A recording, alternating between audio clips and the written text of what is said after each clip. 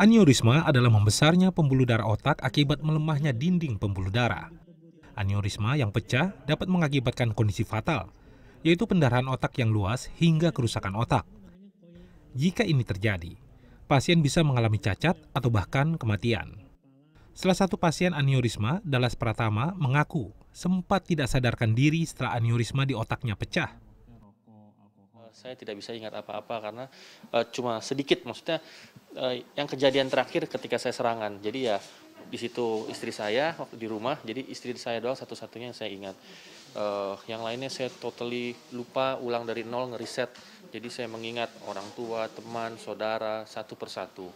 Uh, uh, terus badan pun saya itu seperti bayi terlahir kembali, jadi belajar jalan, menghafal lagi satu persatu arah ke mana gitu. Itu hampir dua tahun gitu. Rumah Sakit Pusat Otak Nasional Profesor Dr. Mahar Marjono Jakarta saat ini menangani sekitar 100 kasus aneurisma otak setiap tahunnya. Penanganan aneurisma dapat dilakukan dengan beberapa metode seperti bedah mikro atau endovaskular. Teknik terbarunya adalah cerebral flow diverter. Cara ini tidak membutuhkan operasi besar. Tekniknya mirip dengan pemasangan ring di jantung. Uh, ini adalah salah satu teknologi yang baru pada penanganan aneurisma namanya flow diverter.